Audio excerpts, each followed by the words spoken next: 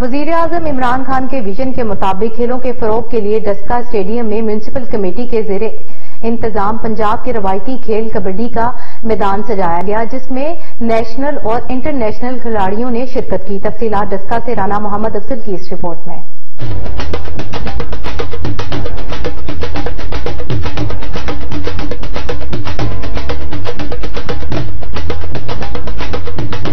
Daska stadium में पंजाब का रवायती खेल कबड्डी का मैच हुआ, जिसमें हज़ारों अफराद की मौजूदगी ने कबड्डी को माजी की तरह आज का मकबूल खेल साबित किया।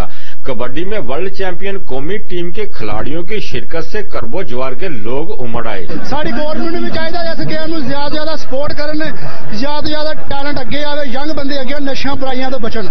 चीफ ऑर्गेनाइजर चेयरमैन बल्दिया ख्वाजा आतफ रजा और मेहमान खसूसी डिप्टी कमिश्नर सियालकोट ने रोज न्यूज़ से इजहार ख्याल करते हुए कहा कि कप्तान जनाब वज़ीर आज़म इमरान खान साहब का विजन है कि गिरोने बात करेंगे।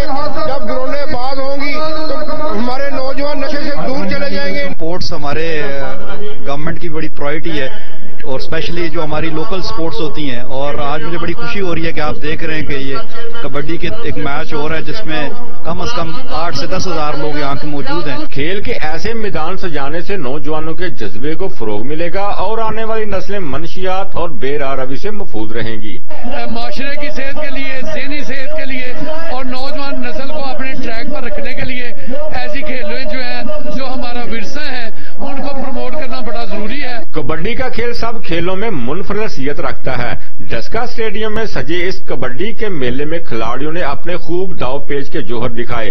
तो देखने आए शायकीन, दाद दिए बगैर न रह सके। खेल के आखिर में अव्वल और दोयम आने वाली टीम को ट्रॉफी और नगद इनाम दिए गए।